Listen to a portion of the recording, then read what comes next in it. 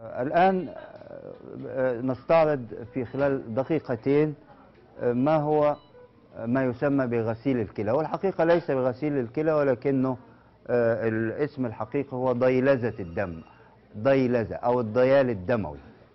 لأن لا يوجد غسيل للكلى إحنا لا نستخرج الكلى من البطن ونقوم بغسلها. لكن it is filtration of the blood and removal of the toxin by this filter. So I will go to the other side just to demonstrate. That part here of this operation, we call it arteriovenous fistula. What is arteriovenous fistula? It is connection between artery and vein.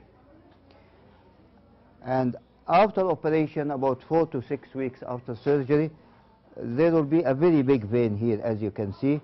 That vein is dilated. Why it is dilated? Because the arterial pressure is transmitted to the venous side. It is arteriovenous.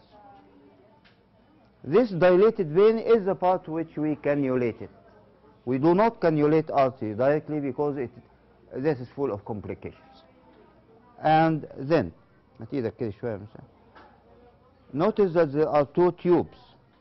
One of them is connected to the so-called arterial side of the arterial fistula.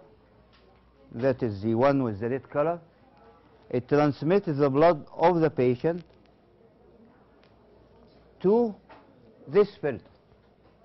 That's the filter, like the filter which used to clear or clean the water which you drink, but more complicated. The filter is formed of uh, millions or thousands of small fibers.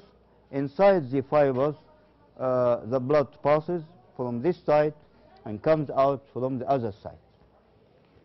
The blood which comes from the other side is the clean blood. The blood which comes from the patient, the red one, to the filter is the blood full of toxins. Passes through the filter, the filter removes these toxins and waste products, and hence the blood coming out from the filter is the clean one.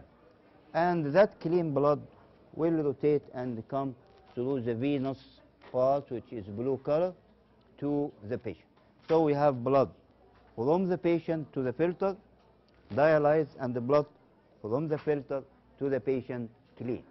This process continue for three to four hours, three to four times per week, and that is the so-called hemodialysis. It is one of the ways to treat chronic renal failure. The other way is through kidney transplantation.